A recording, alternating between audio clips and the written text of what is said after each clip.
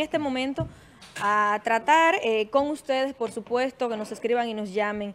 El, uno de los temas que está en el tapete a propósito del día tope para, la elección de los candidatos, eh, para elegir los compañeros de boletas. El PRM y la Fuerza del Pueblo tienen hasta hoy para elegir a sus compañeros de boletas. Hoy vence el plazo dado por la Junta Central Electoral eh, para que los partidos políticos inscriban sus candidaturas presidenciales y congresuales. Aún varias organizaciones políticas no lo han hecho, ni han dejado claro quién será el o la aspirante a la vicepresidencia. Luis Abinader del PRM y Leonel Fernández de Fuerza del Pueblo no tienen vice aún o no lo han informado. Lo que nos lleva a preguntarnos a modo especulativo cuáles serían los candidatos a la vicepresidencia adecuados para ocupar las referidas candidaturas. Eh, eh, precisamente la pregunta del día es en este mismo sentido. ¿Quiénes entienden usted o considera que ocuparían o quién más le conviene eh, ser el candidato de boleta a la vicepresidencia del PRM y la Fuerza del Pueblo? ¿Quiénes entienden ustedes que deben de ser? Bien, con relación a esto, eh, hay un, básicamente en la Fuerza del Pueblo, se está especulando y con muy, con muy alta posibilidad de que la candidata vicepresidencial de Leonel Fernández por la Fuerza del Pueblo sea la esposa de Reinaldo Pared Pérez. Lo que sería una galleta sin mano para el PLD. Una galleta sería eso, para decirlo así. un tema de venganza, entonces. No, eso es la política. No, porque, fíjate una no, cuando te refieres a una galleta sin mano. Claro, porque, la señora cuenta estamos hablando, estamos eh, hablando de la esposa. Sí, pero estamos hablando de la esposa del secretario general del PLD. Sí, pero más que incluso anoche no, participó de manera sospechosa de la reunión que tuvo el Comité Central. Definitivamente. Un hombre que nunca falta. Definitivamente la señora eh, de Pared ella mostró fidelidad y cuando Leonel dio el paso, ella también dio el paso. Claro, no, pero además... Y su marido Pero lo dio ella posiblemente detrás de, de Reinaldo. Bueno. No, pero no importa. Entonces, hay dos matrimonios. Eh, está como raro, sería una no, cosa hay que, histórica. hay que ver qué pasa ahí, porque la, la ausencia de Reinaldo para anoche me llamó a suspicacia. En el caso del PRM todavía eh, no está claro de si va a ser, me dice Fulvio que ya no va a ser Farid Raful. No, no, Farid está en su candidatura a senador. Se habla, se habla de que posiblemente sea David Collado, pero nuestras fuentes nos aseguran que no, porque hay un tranque con David Collado y Luis Abinader. Me dicen que hay un problema serio. le voy a leer entre lo que ellos dijo David Collado. Le voy a y leer. a lo que tú hablas. Yo ahora me atrevo a descartar me atrevo a descartar que no va a ser David Collado, pero sí se está barajando incluso, y esto es especulativo, eh, el nombre de Roberto Ángel Salcedo, de Robertico Salcedo para que acompañe, que sería un error para Luis Abinader. a Luis Abinader le conviene una mujer, y si esta muchacha, ¿cómo se llama? Eh, Milagros. Si Milagros Germán tiene buenos números, entonces yo creo que Luis Abinader tiene que acompañar es interesante esa, esa Se está trabajando Milagros Germán, Ito Bisonó, no, no, Ito no, David Collado. Ito Bisonó está en dos Sonia, puntos. Sonia Guzmán. El Ella único está en hombre, el único hombre que, que, que puede acompañar, que puede acompañar a Luis Abinader es David Collado. Después de ahí tiene que ser una mujer. Mira una cosa.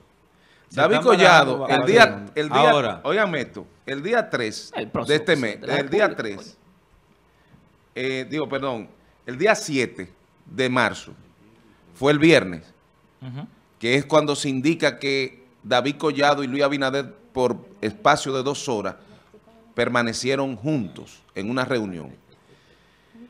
12.57 de la, de, de, la noche, de la mañana, porque fue, parece, ya después pasado la madrugada, que él hizo. A los hombres de buena fe no se les complace, no se les complace la humillación o la sumisión. Estas despiertan su espíritu de lucha y supervivencia, dijo David Collado. Es decir, que después de la reunión, esa fue la reacción, porque por espacio de dos horas, y que resulta que dentro de las que más cercano ha estado en la propuesta de vicepresidencia es Milagro Germán, que ya hasta el estudio médico de rigor se hizo. Sí, sí. Es decir, que ayer se tenía planificada una rueda de prensa, yo lo que quiero que Fulvio me lo desmienta, pero la rueda de prensa como que se frustró porque no dieron datos de lo que se esperaba que era la candidatura vicepresidencial. No, porque ellos Parece que la dejaron para hoy. Juramentaron algunos dirigentes del PRD que se fueron, Sí. aprovecharon ahí.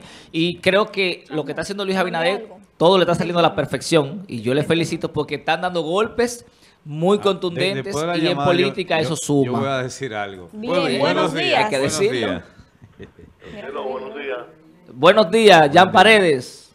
Gracias. Tengo rato pues, eh, tratando de hablar con usted. Ay, sí, hay mucha gente en espera, ya, tiene que entenderlo. Sí, Este es sí, el programa sí. más visto de toda Pero la vale la pena, vale la pena porque hacer la corrección que tú dijiste ahorita es el programa más escuchado del país. Gracias. Visto, Gracias, Jan. Por Carolina. Mire, eh, ayer ocurrió un hecho muy lamentable aquí en Castillo, anoche precisamente, bajo la lluvia, frente a los multi de Castillo, ocurrió un accidente donde dos maestros eh, se vieron involucrados eh, de manera muy eh, grave. Uno se rompió todos los dientes, uno con el pie roto, golpe contundente. Pero lo que llama la atención es que teniendo un hospital con tanta categoría, con tanto equipo y especialistas, no tenemos ambulancia. Es lamentable que las ambulancias de 911 que hay aquí acostadas en Hosto y en Castillo, van y tiran a los pacientes ahí como si fueran animales. Y no, y no importa si no hay ambulancia o no hay. Eh, gracias a Dios que los parientes tenían 5 mil pesos para pagar una ambulancia eh, privada. Y si es un pobre diablo que no tiene con qué caerse muerto, ¿en qué lo van a llevar? ¿En burro, en bicicleta? Yo hago un llamado a Gabarabón, a llamado al ministro de, de Salud, que Castillo necesita una ambulancia. No es, no es justo que estemos aquí con 911 y que los pacientes sean tirados como eh, animales en el hospital y que se pase de la suerte a quien pueda. De manera que hago ese llamado en nombre del Castillo y todas las comunidades de aquí aledañas, que esa situación sea resuelta. Ambulancia para el hospital del Castillo ya. Gracias. Muchísimas, Muchísimas gracias. gracias. Jan, y qué pena que aún estén padeciendo de esto. Y yo sé que tú tienes bastante tiempo reclamando Pero, esa y- ambulancia. y el 911 no está allá. Sí, van y lo depositan en el hospital, pero si hay que trasladarlo a otro, Ah. entonces los familiares tienen que Ah. buscar recursos para hacerlo. es decir, hacen el auxilio, Sí. el primer Sí, el auxilio. primer auxilio. Fulvio, Bien, ¿tenías pa- para decir mi parte. Responde, relación- Fulvio. ¿Quién va a ser el candidato vicepresidencial de Luis Abinader? Hoy, Coño, hoy a las 10 de la mañana Ah, ya tiene reunión el Comité Ejecutivo Nacional Mm. donde van a, a darse a conocer eh, algunos nombres, posiblemente el nombre de la vice o el vice que va a acompañar Ay, a Luis. Ahora, Eso va a ser un palo. lo importante es la expectativa que se ha creado. Lo importante es el manejo también que se le ha dado, ¿verdad, Gillian? Sí, no, no. Tengo que felicitarlo. Sí. Hay que felicitarlo. Entonces, el equipo de Luis Abinader ha hecho un excelente Hay, trabajo.